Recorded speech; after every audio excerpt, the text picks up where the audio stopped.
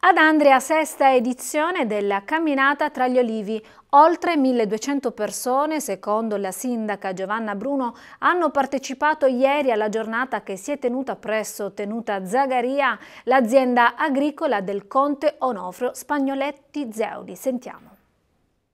Questa camminata di Andria tra gli olivi è diventato il format nazionale e questo glielo posso garantire perché facendo parte della giunta nazionale è diventato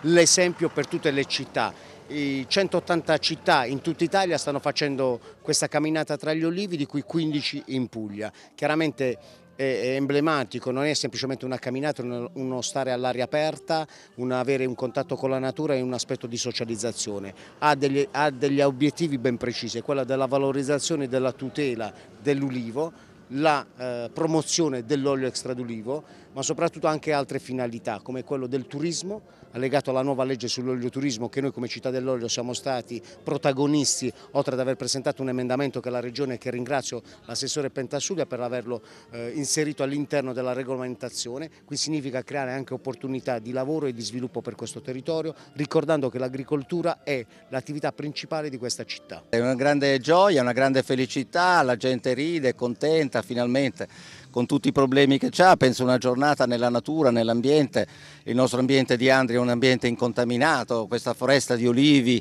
eh, la gente deve capire che chiaramente è un ambiente più sano di così perché l'olivo è la pianta che più abbatte la CO2, quindi è una meraviglia credo poter camminare poi con questa bellissima giornata che io mi auguro che sia una, una giornata di serenità, di pace e di conciliazione con tutto.